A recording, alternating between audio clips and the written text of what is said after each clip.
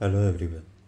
My name is Harsh Davda and I am a robotics engineer specializing in navigation stack. Today in this video I'll be answering the question posted on ROS Discourse and thereby explaining some of the basic concepts regarding ROS frames. Before going to details regarding the ROS frame, I will be explaining in brief some of the theoretical concepts with examples and demos so it can be easier to understand what the specified frames are and why are they required. Without further ado, let's learn some basics about ROS frames. Coordinate systems and its significance in mathematics. ROS frames are called coordinate systems in mathematical context. In any mathematical problem where we need to identify the positions or orientation of multiple geometrical objects of interest, we need to define a reference system. There are various standard coordinate systems designed for different dimensions and use cases which have been widely used in many applications to simplify complex computations and for making it easy for us to understand, design, and represent multidimensional systems. In a generalized sense, the coordinate systems consist of multiple independent linear references which are uniformly divided into smaller units. This makes it easier for us to discretize and represent possible states of objects in system along each dimensions. Some examples of the coordinate systems are given on the screen. Using the coordinate system as a reference and using the tools available for coordinate geometry, complex computations like real-time accurate simulations, modeling and navigation has become easier to work on. Need for multiple coordinate systems. Now that we understood coordinate systems, we need to understand why would we ever need multiple coordinate systems in any application? Why not just work with single coordinate system? Simplest answer is that the universe is a really huge environment and we will never be able to define a single unified coordinate system for any application. The main point of using coordinate system is the ability to choose where the origin and the axis will be. For different applications, a same system can have different coordinate system. There can also be subsystems in a system which has its own coordinate system. There can be an entire subsystem hierarchy inside a system.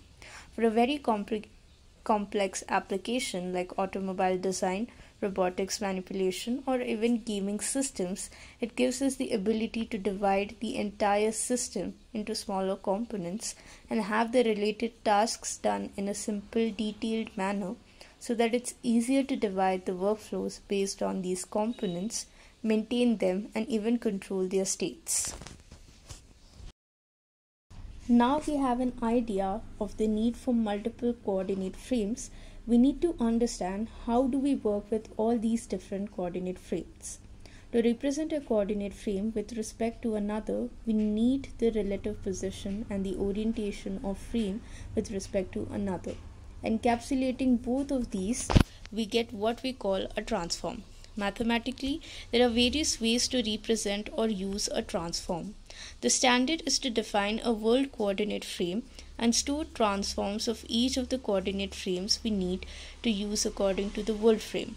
To simplify complex systems, we create hierarchy of these subsystems where we store child's frames transform with respect to parent frame so it's easier to work with the context and localizing the objects with respect to world in case the parent's states changes. Now let's answer to the question what is the difference between world, map and ODOM frames?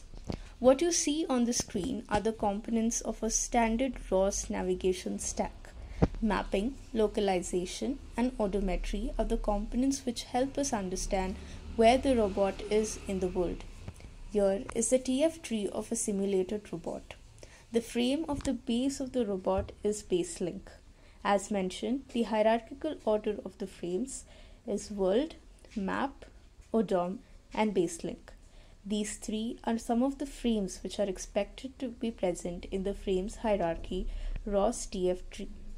The world frame, as explained before, is the superparent, which is located at the root of the TF tree. Map frame is created by the map server which defines a coordinate system of the environment where the robot can move. This is a static coordinate frame with respect to world frame. This frame is loaded by the map server which loads the map. ODOM frame is the frame where the robot starts its navigation frame. The process of calculating the map to ODOM transform is called localization. The process of calculating ODOM to base link transform is called odometry. There are various plugins and algorithms available for odometry and localization. Because of the time constraints, I won't be able to get into the details of the algorithms, but let me show you how the TF tree of the map to ODOM works. Here we have a robot in a BMAP environment which uses LiDAR for localization and wheel encoders for odometry. So when the robot starts, it doesn't know where it is in the map. But as it moves, the localization algorithm will keep trying to correct the odom frame so we can accurately understand where are we on the map and thereby the world. As you can see, the slowly laser data matching the map and now it's able to navigate through the map without any problems.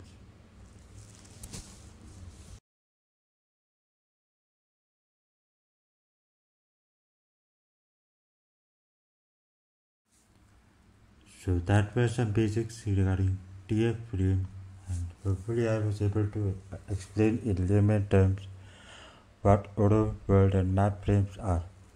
If any doubts or correction, please consider reaching through comments or the forum. Thank you for watching.